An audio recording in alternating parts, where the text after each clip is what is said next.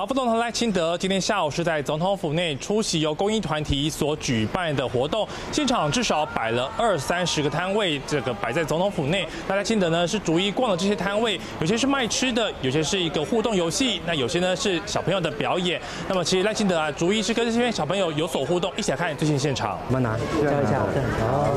那我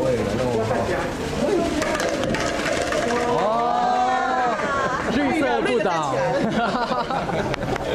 哇，那你厉害，你你没了，可以了，可以了，可以了，可以了，十分，对，